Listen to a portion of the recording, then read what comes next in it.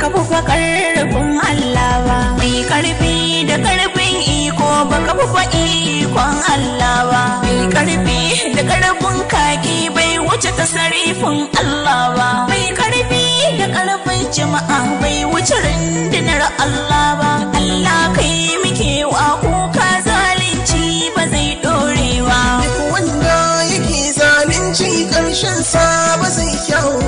Ki yi shiru maryam e baba.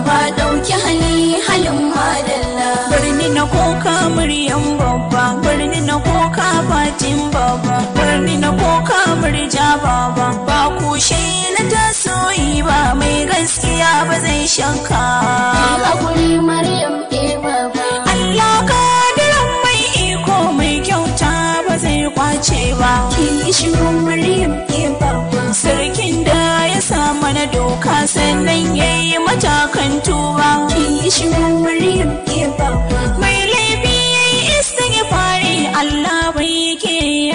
ba. Ki yi shiru maryam e baba ɗauki hali halin madalla. Duk wanda yake zalunci ƙarshen sa ba zai